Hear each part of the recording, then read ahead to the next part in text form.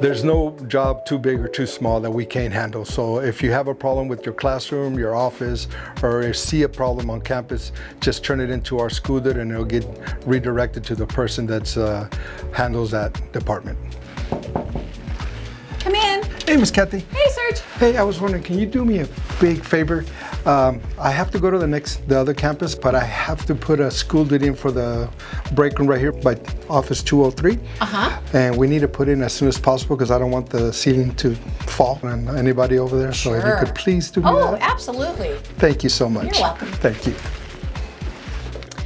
Let me enter the school dude in the computer system for Sergio. I'm gonna choose my portal. I'm gonna sign in. And if School Dude is not in your favorites, you can always go to Apps Catalog and choose School Dude from here. If this is your first time, you will need to register your account. Click here and then register. Now we're going to create a School Dude request. My first name and my last name and my email address are already in the system. Step two, they're requesting the location. So I'm going to choose Herndon campus. Building, this is building A, and the area, we are located on the, the problem is located on the second floor. And area room number. The staff break room doesn't have a room number, so I'm just going to put staff break room. Step three, they want us to select the problem type. I'm going to select general maintenance.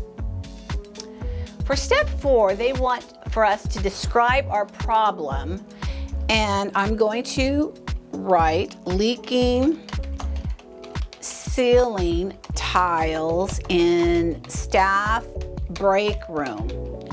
Since the staff break room does not have a room number, I'm going to put near room 203. This will help the maintenance people locate the room. Time available, they can come anytime.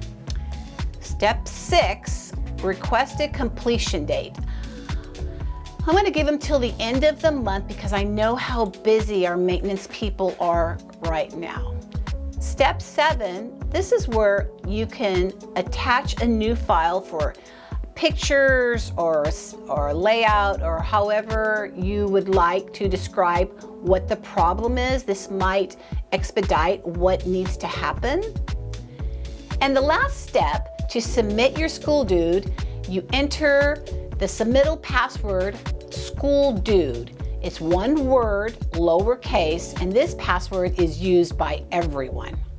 Note, you will receive the following notifications. You'll be notified receipt of your request, you will be notified of request assignment to a technician, and you will be notified of status changes to your request. If Crush could do it, we can all do it.